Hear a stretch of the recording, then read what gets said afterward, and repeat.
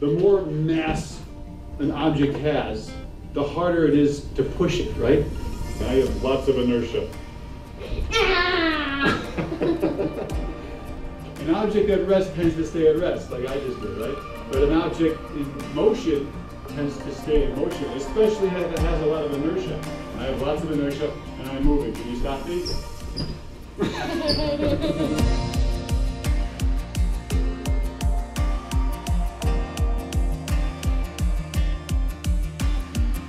Hey kids, I'm Danny Dwarf, I'm Sasha. and this is our Learn Science for Kids playlist. I have specific areas of science that I made playlists for, but this is all the other stuff. And this is like basic principles of science that are really interesting. That has Bill Nye the Science Guy. You know, like what are atoms? What are cells? It's got Bill Nye the Science Guy, obviously, because we love him.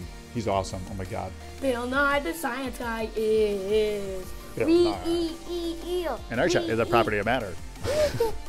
Bill, Bill, Bill, Bill, Bill, Bill, Bill. Bill Nye the Science Guy real. He's real. He's not a cartoon. No, he uh. We saw him at Disney World Yeah. because we love Bill Nye the Science Guy. Bill Nye the Science Guy. Newton's second law.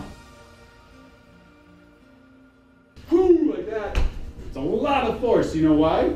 Because it's a lot of acceleration. Force equals mass times acceleration. Good. There's other stuff on here. There's uh, they might be giants. Have fun learning about the scientific method and all the scientific principles that are in this playlist, and be sure to check out our other fun educational playlists to help kids learn and have fun learning. There was a piece of dust flying in front of it, Sasha, and she had to grab it like a kitty cat to play with things like that. Okay. Anyway, have fun, guys. Newton's third law is every for every action there's an equal and opposite reaction. Like if you're floating in space, Bye. here's Olaf. He's floating in space and he has this, he's like an astronaut. And he pushes this this way. This action has an equal and opposite reaction. It's not, what the heck are you doing? Okay.